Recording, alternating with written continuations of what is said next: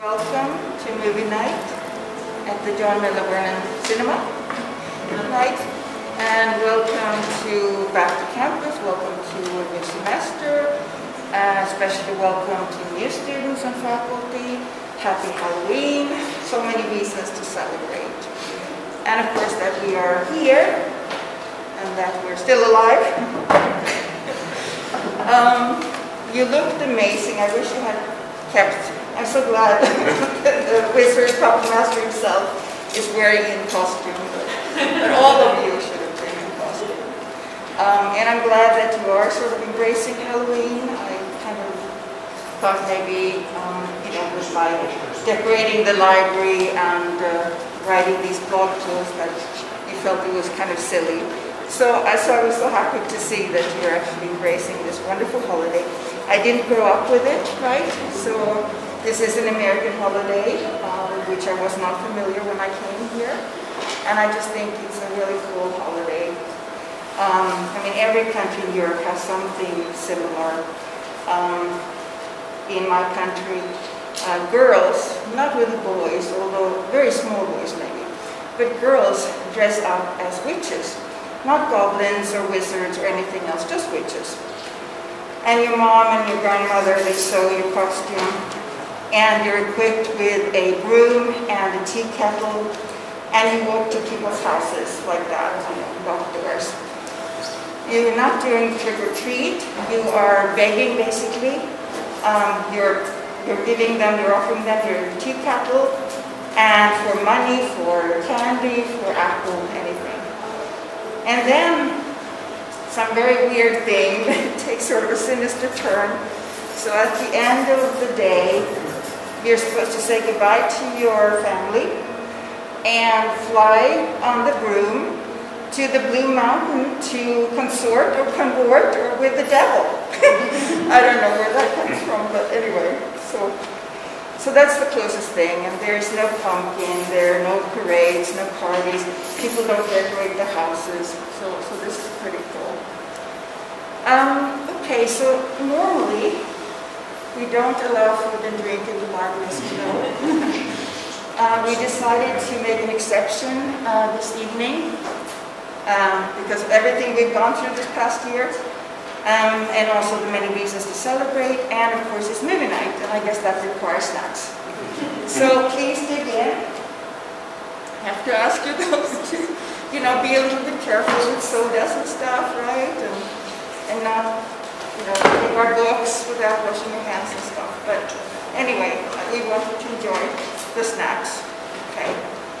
All right, so Today's movie was first aired on the Smithsonian Cable Channel in late August and features the discovery of a tomb, a coffin, and a skeleton, so very appropriate for Halloween. Um, probably you're familiar with the plot.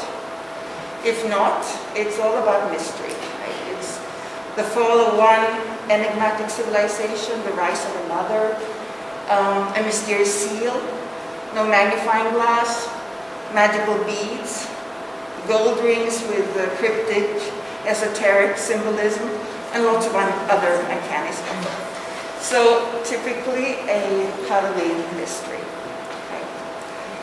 Before we get started, I have asked the wizard, Puppet Master himself, to say a few words.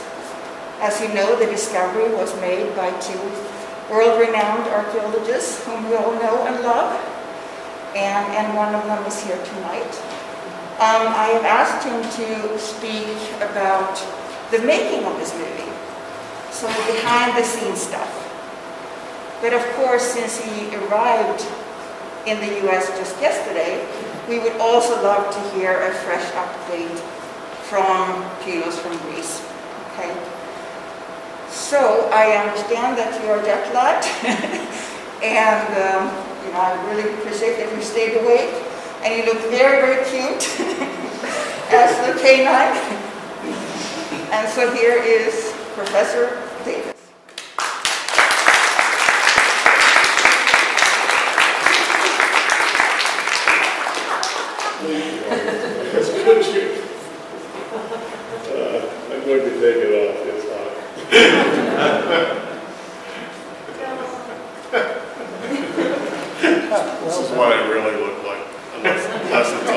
it's also a mask. thank you. Yeah, thank you, Rebecca, for the invitation. As you were saying, I got back at uh, just in time for the fourth quarter of the Packers game last night from uh, from Athens after one of those monumental 20-hour travel days. So I'm pretty blasted from the uh, from from the trip, but it's good to see you all. Thanks for coming out on a Friday afternoon. That's uh, that's a terrific testimony to your interest in what goes on in this department. And I know not many of you have had the chance to see this film before. Uh, it's an interesting film. Um, the uh, they usually on the television channels tell you to stay tuned after the film for the backstory, but we're going to do it. We're going to do it in reverse this time because I may be asleep by the end of the by, by the end of the film. Uh, the uh, uh, there have been, as Rebecca said, uh, in 2015, uh, Sharon Stocker from this department and I had started a new campaign of excavations at the site of Pylos, where we had been working in various ways since the early 1990s. But although Sharon had done some excavation, that's another story, we hadn't had really systematic excavation since Carl Blegen's death in 1971 as a department.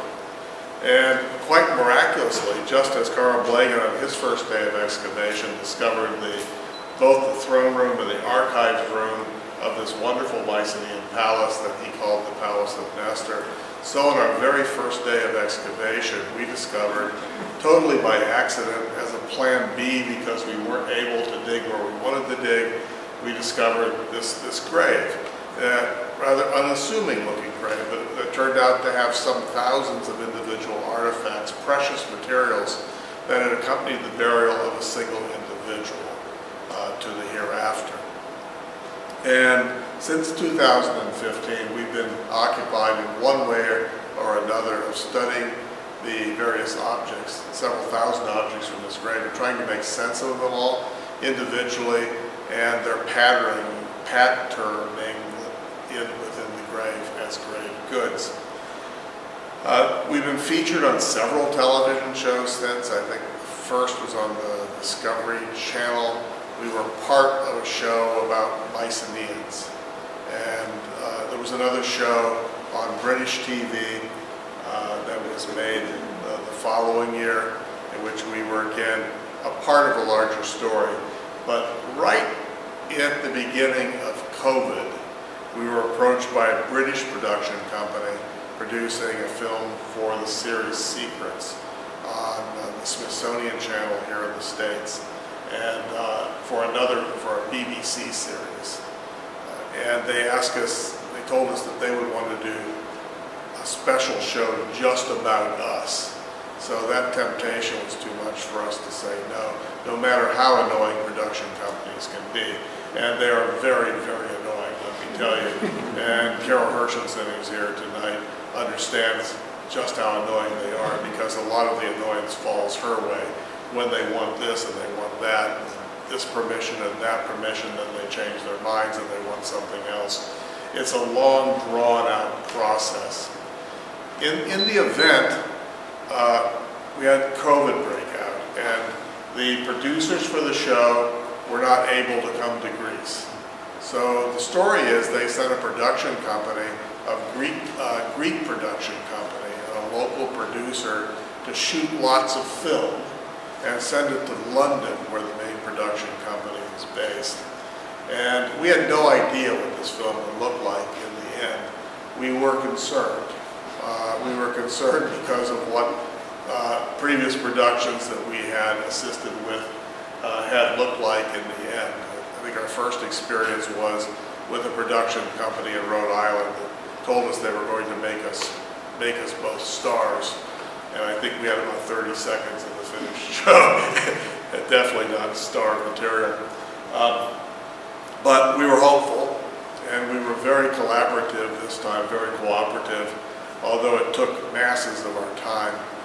Uh, the, uh, and then we didn't hear from them for about a year, to the extent that we thought that they had given up on the idea of producing the show.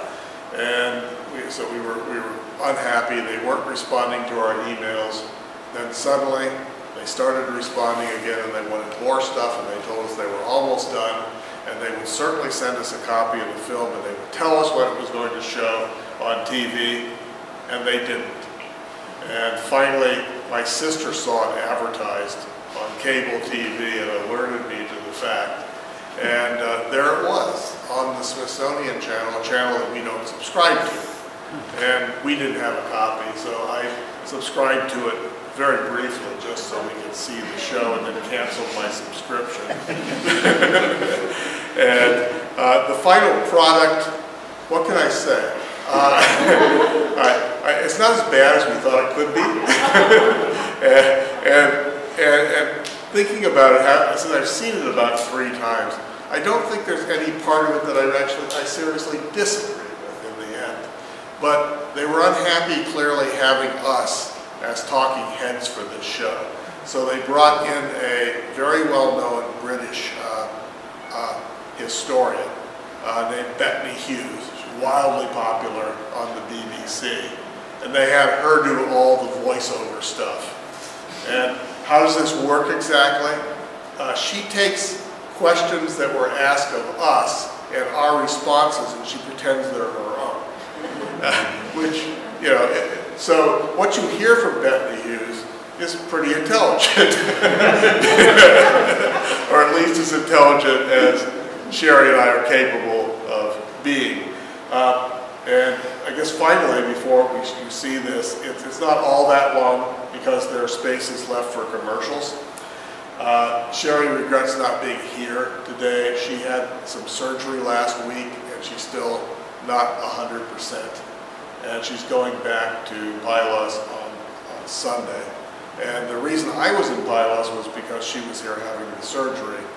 And we're now swapping places in reverse and she's taking over again the excavations because uh, make this really brief because after we thought we were done with the site more or less, in 2018 we thought we'd do a little more subsidiary excavation. We learned more about the Bronze Age town around the palace at Blegen that Blegen dug. And lightning struck again. On the very first day of excavation, we discovered two brand new Mycenaean, uh, early Mycenaean, which is 15th century BC, uh, tholos tombs or beehive tombs. And they're big. One is 12 meters across, the other is 8.5 meters across. The one that's 12.5 meters across is 4.5 to 5 meters deep. And we're still digging them. And we've been digging them year round since 2018 with crews in the field, which is a very labor intensive and a very expensive business. But if we weren't doing it year round, we'd be there after, after our deaths to keep with the Halloween thing. so uh, without any more delay, here it is, the tomb of the Griffin warrior. All you want to know about it up until this point and our thoughts on the subject. So, Maestro.